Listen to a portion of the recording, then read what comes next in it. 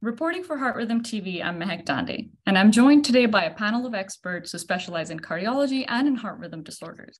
Today, we will discuss the importance of recognizing cardiac arrests in athletes, as well as ways to prevent it and protect them. First of all, I will introduce our panelists. Dr. Link is uh, an attending cardiologist in electrophysiology at University of Texas Southwestern. Dr. Rachel Lampert is a cardiologist and professor of medicine at Yale University School of Medicine. Dr. Christopher Madias is joining us from Tufts University Medical Center as, and, and is the attending cardiologist in electrophysiology. And Dr. Martin Maron is joining us also from Boston and is the director of the Hypertrophic Cardiomyopathy Center at Lahey Health. So starting off, uh, Dr. Link, uh, I want to ask you, there was a lot of speculation and discussion uh, following the January 2nd episode uh, with Damar Hamlin. How common is commotio cordis among athletes and what are the ways to recognize it? Yeah, we see commotio cordis about 10 to 20 times a year. and commotio cordis is defined by when someone's struck in the left chest by something hard. It could be a ball, a fist, a shoulder, and then they collapse typically about five to eight seconds later. And when they're found, they're found in cardiac arrest or ventricular fibrillation. And the ventricular fibrillation they're in is the same kind of ventricular fibrillation you see with any kind of uh, underlying heart disease, such as hypertrophic cardiomyopathy or coronary disease. And the treatment of it is identical to the treatment of cardiac arrest in other situations. Excellent. Um, and Dr. Madias, who needs to know about commotio cordis and uh, what are some of the immediate things that one could recognize uh, if that were to occur? Yeah, so the clinical spectrum uh, for commotio cordis was actually first described by um, Marty's father, uh, Barry Maron. Um, and it was a series published in 1995 uh, of, I believe, 25 cases. Um, uh, of sudden death from chest wall impact. Uh, the majority of those were uh, involved in sport. Um, you know, as as Dr. Link said, you know, generally these cases occur from impacts to the chest wall from a dense projectile. Um, so the most common scenarios, at least in the U.S., are in sports with a, um, a small dense projectile, baseball, lacrosse, hockey. You know, that being said, I think the biggest takeaway um, from the recent events are that sudden cardiac arrest can occur uh, on the playing field. Commotio cordis is one of those causes, fortunately, a rare cause. Uh, and as Mark said, the management and treatment is the same as any type of cardiac arrest, quick recognition, uh, and early uh, implementation of CPR and defibrillation with AEDs. Yeah, and we are grateful that because of those interventions, uh, Damar Hamlin was discharged safely uh, after his hospitalization. Um, and uh, I'll turn to you, Dr. Maron. Uh, we hear the term athlete's heart a lot, and we obviously think about it when we think about athletes. Uh, what are the differences between that and some of the more dangerous other causes of cardiac arrest among athletes? Sure. So, you know, we, you do hear the term athlete's heart a lot. And of course, it's true that you can have an increase, small increase in wall thickness as a result of systematic training. Um, and that can sometimes overlap, for example, with mild expressions of other heart diseases that could be path- pathologic. Most commonly, of course, is hypertrophic cardiomyopathy. And so the historical challenge has been differentiating athletes who present with mild increases in wall thickness. Do they have just athlete's heart? Is it just secondary hypertrophy from training versus are you looking at a patient that really is an athlete, but also has uh, actually mild expression of HCM that's really responsible for the increase in wall thickness? And really, I think today in, in 2023 we live in obviously it's a it's a it's in a lot of ways a great era for medicine, including um, the, the, the advancements in in diagnostic testing, which have made a big impact here um, in helping to differentiate uh, athletes' heart from example HCM with you know advanced imaging with MRI. Um, you know, echo is also advanced. There's a number of, of, of aspects to imaging, genetic testing there's a lot of different strategies we can deploy, in other words, uh, with contemporary testing to really, really reliably today differentiate a patient reliably between a athlete's heart and HCM, including perhaps most importantly, uh, putting the greatest weight on on on two variables, wall thickness and cavity size. Anytime the wall thickness, you know, essentially achieve is, is greater than really 13 to 14 millimeters, that really points to HCM. And if there's any ambiguity about that, using high resolution imaging with MRI can be very helpful in that situation.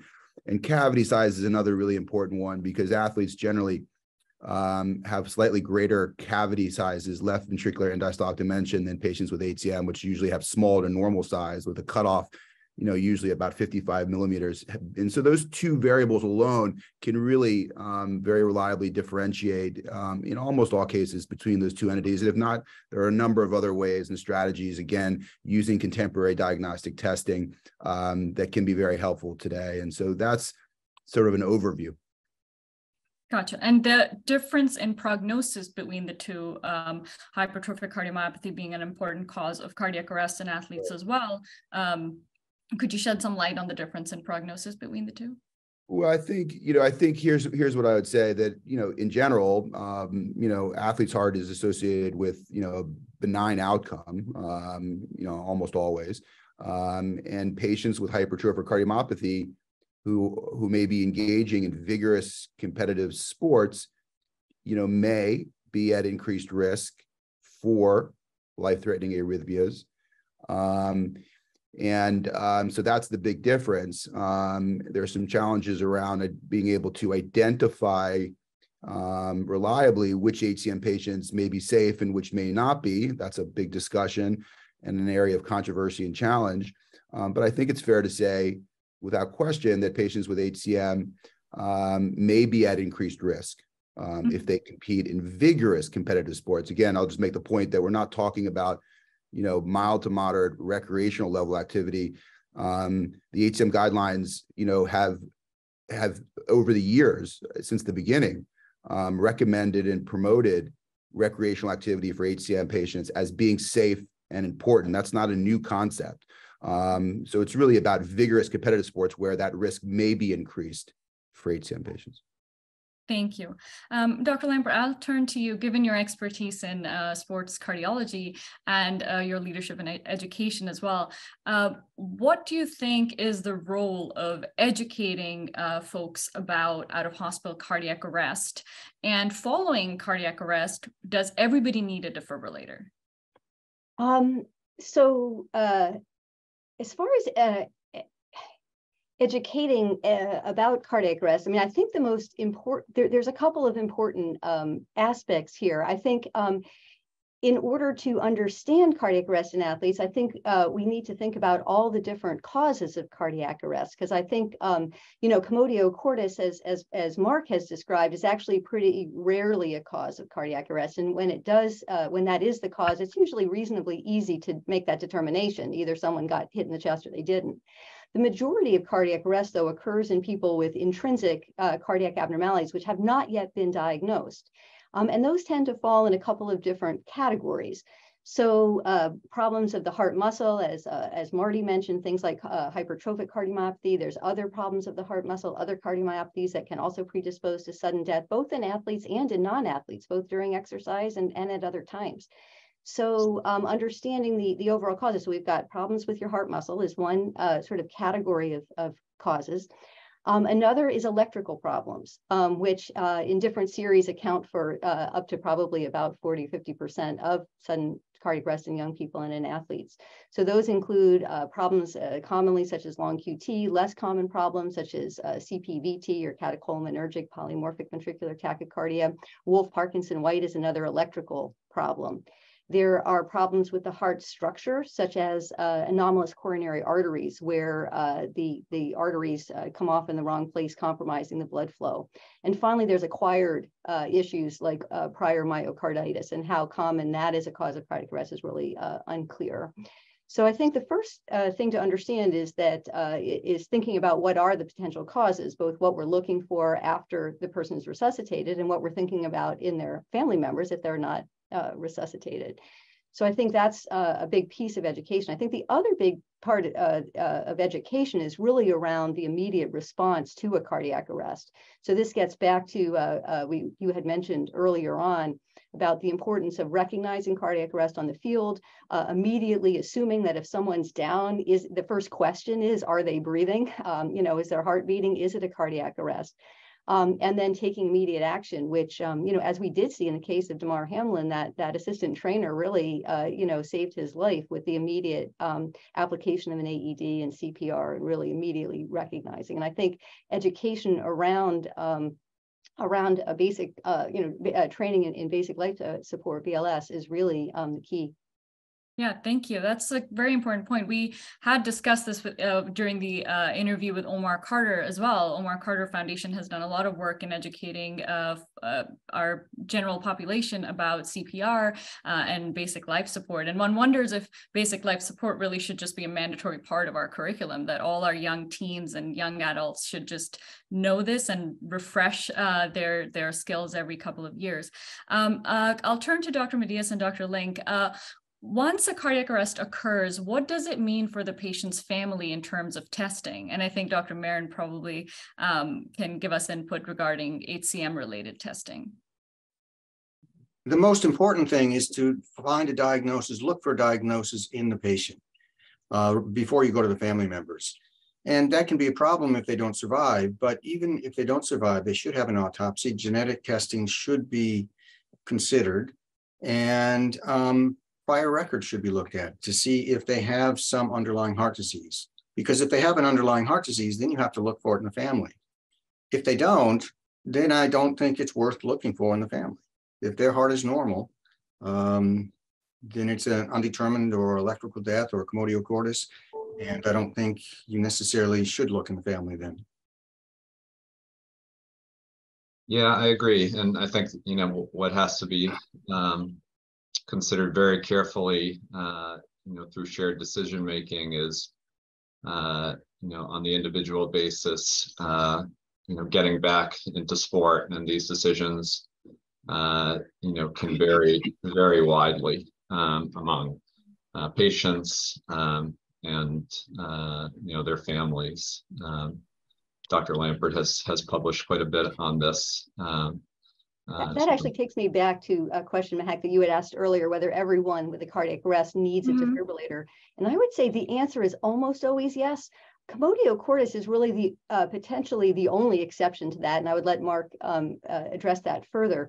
But all if if it's not commotio, excuse me, um, if it's not commotio, then in general, it's something intrinsic with the heart. And if it happened once, it, it's going to happen again. Uh, the other exception might be a, an anomalous coronary that you're going to fix surgically. But if you haven't either identified a reversible trigger or you haven't fixed that, and, and it's not something you can fix, like potentially an anomalous coronary, um, whether an athlete or not, um, you do need a defibrillator. Um, whether or not to return to sport after a defibrillator is, as uh, uh, Chris describes it, uh, for, um, an issue for shared decision making. The data that, that we have from our uh, series of athletes that um, has been published, the ICD Sports Registry, is that we did not see adverse events in the 440 athletes, 77 of whom were, were varsity type athletes, um, when they returned to play.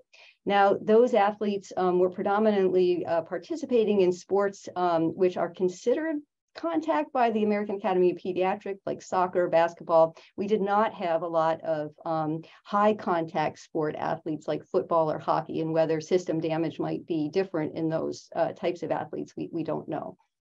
But we do have uh, we do have evidence that uh, many of these athletes can go back and, and uh, participate in sports without adverse events. And Dr. Maron, for hypertrophic cardiomyopathy, um, what does what does the cardiac arrest imply for the rest of the family, or is testing completely independent of that? Yeah, for for for a patient that's had a, a sudden uh, cardiac arrest for, and has then a diagnosis of HCM made, um, obviously for that patient, it's often very appropriate, um, as the panel was saying, you know, to consider secondary prevention therapy with the ICD think that's fairly clear. Um, and then, of course, there is the important, very important issues that come after diagnosis of the of the patient with respect to other family members, um, which you know really include um, systematic assessment of uh, first and close relatives um, with uh, imaging, uh, echocardiography.